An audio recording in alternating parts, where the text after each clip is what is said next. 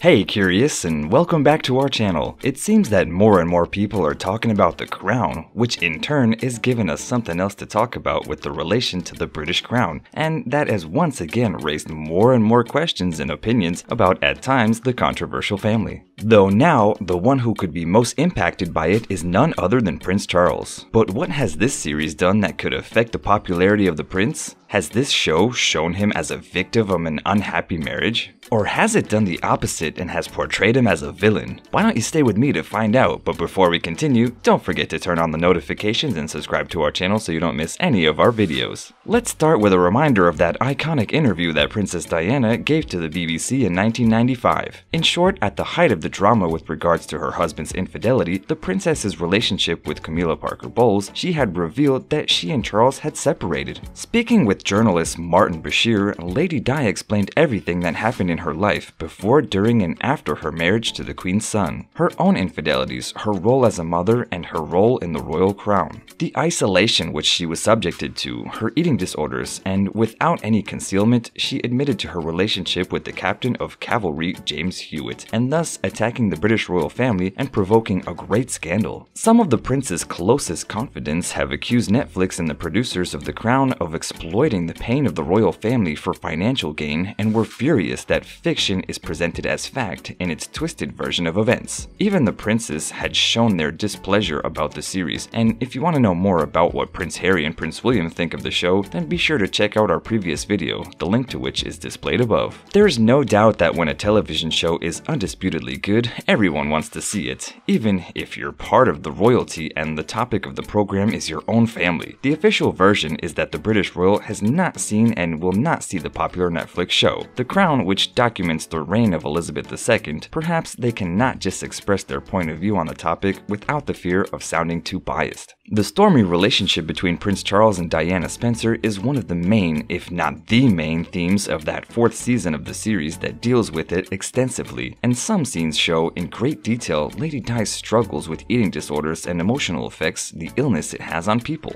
A source has revealed that this was one of the things that greatly irritated Prince William. As we've mentioned before, the fourth season covers Charles' doomed marriage to Princess Diana, her eating disorders, and his affair with Camilla Parker Bowles. Because of his position as heir to the throne, he cannot be with the woman he loves and is essentially forced to stay lovelessly with a teenage girl, Diana Spencer, who he has only met a handful of times and who outshined him at every public event. In the show, Camilla is played by Emerald Fennell and Diana by Emma Corrin. Though, back to the plot. Trapped, unhappy, and unable to escape what seems as an abomination of an arranged marriage, Charles, who's portrayed by Josh O'Connor, spends his time on the screen sulking, feeling sorry for himself, and then finally end up lashing out at his beautiful young wife. And the latter is a portrayal of an insensitive and selfish Charles who ends up meeting and marrying an innocent Diana while continuing to maintain an affair with his then married Camilla, all of which has provoked so much anger within him. In this case, some argue that the show is dragging up things that happened in very difficult times 25 to 30 years ago without thinking to anyone's feelings, though these things get constantly brought up in various different contexts. The fourth season of this unsuccessful drama covers the years from Lord Mountbatten's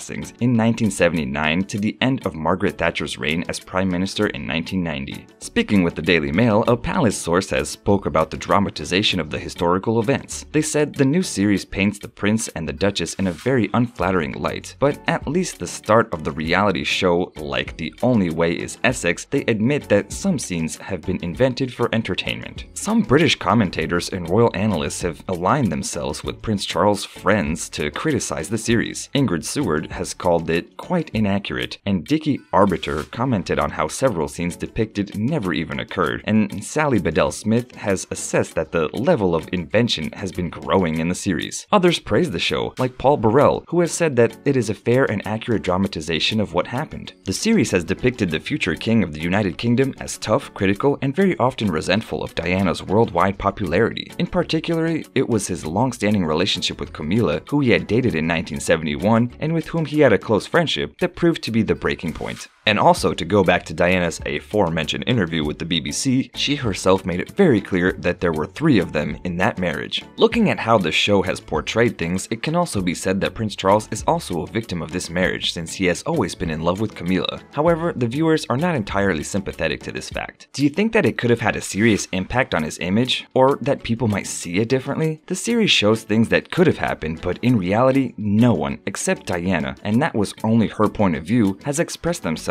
about the whole drama. So could it be that this has made the other side of the coin be lost by not telling their point of view? Let's take a closer look at the love story between Prince Charles and his wife Camilla, as it has been reported that their love story can be traced back to a sporting event in 1970, and from there on, their two fell in love. They started dating, but their romance was brief as the prince was forced to do military service in another country. They remained friends, however, she later married Andrew Parker Bowles, and the couple had two children. Though Prince Charles was never too far away from her, even in 1975, he was named as the godfather to her son Tom. They were separated for a while when the prince met Lady Di and ended up marrying her in July of 1981. And during his time, the two went through some difficult times in their marriage, and it was then that the rumors and suspicions of secret affairs came out. In 1995, Parker Bowles decided to divorce her then husband, and there is a speculation in the media that this led to the Queen's son decision to leave Diana. As for the eternal heir to the throne, it is nothing new when I tell you that it has taken him and his wife Camilla literally decades to try and repair their image. The couple eventually got married in 2005, just over 30 years after they initially started dating. Though, wouldn't you agree, Curious, that it must have been frustrating to not be able to marry the love of your life because of social pressures and status? And this whole series of events, because of the show, which is gaining more and more popularity, not just in the United Kingdom, could it potentially be a great risk to the couple? And this assumption comes after a trolling campaign has been provoked online against the Prince of Wales and the Duchess of Cornwall. This all happened after the show portrayed their relationship during the marriage to late Princess Diana. The popularity of the show has greatly contributed to the resurgence of the support of late Diana, who passed away in 1997, and it also added to the scrutiny of Charles and Camilla. Those internet trolls had made their way to Instagram accounts of Clarence House, and under posts that it featured the Duchess, countless comments had been made saying that Diana is the only princess they recognize, and many comments such as Diana Forever, or simply her name followed by a heart emoji had appeared.